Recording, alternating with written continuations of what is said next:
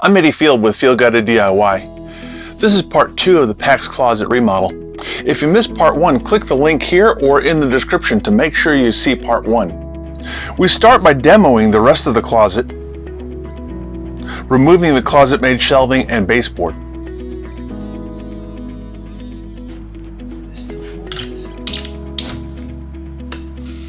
Since we already installed one cabinet, we have to assemble the rest of the cabinets in the bedroom.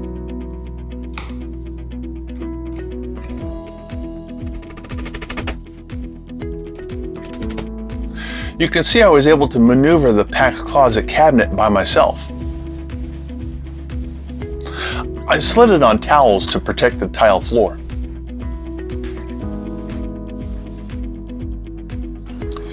Once the second cabinet is in place, I adjust the leveler to make sure the cabinet leans back against the wall and the bottom shelf and top shelf align. Then make sure the face of both cabinets are even. A clamp comes in real handy once the face, top, and bottom are lined up. I used one of the shelf pin holes to drill through to attach the PAX closet cabinets together with the threaded collar and bolt provided.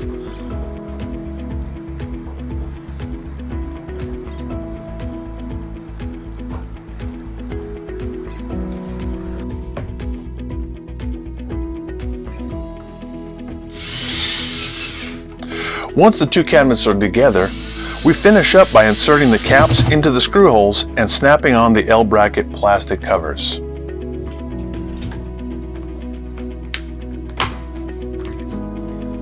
Back to the bedroom to assemble another PAX closet cabinet.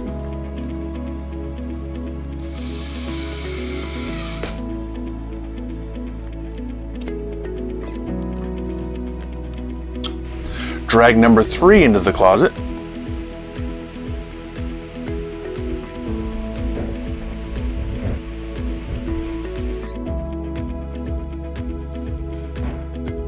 Put it in a position, level it,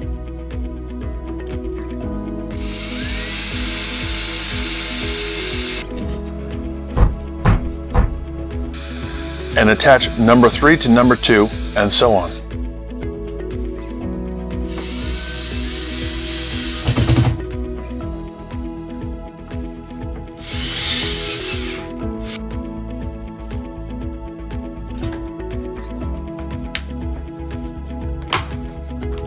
We were so fortunate because the closet itself is 142 and a half inches wide. So with three 39 and 3 quarter inch cabinets, and one 29 and a half inch cabinet. We had a quarter of an inch to spare on both sides. Our next video, we're going to start adding the Komplement components that make this unit so versatile. Click the image on the screen now.